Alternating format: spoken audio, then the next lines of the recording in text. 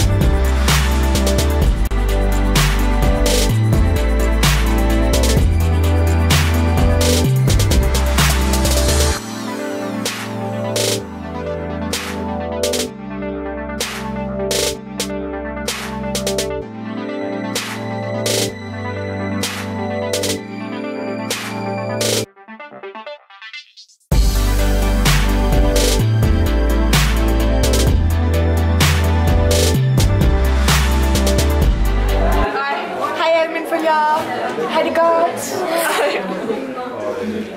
Det er, det er Rikkes ene kompan her.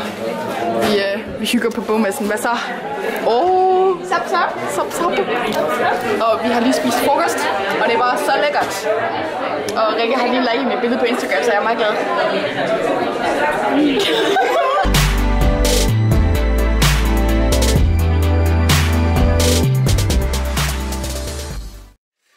Filmer du? Ja.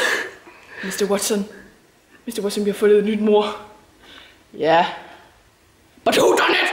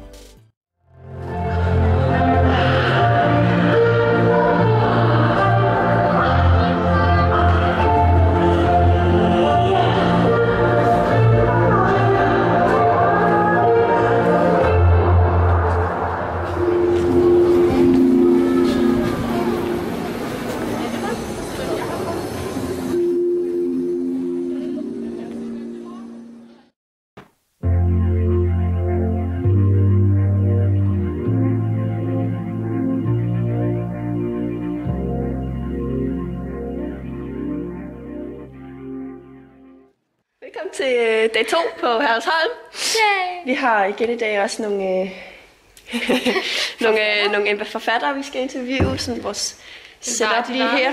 Ja.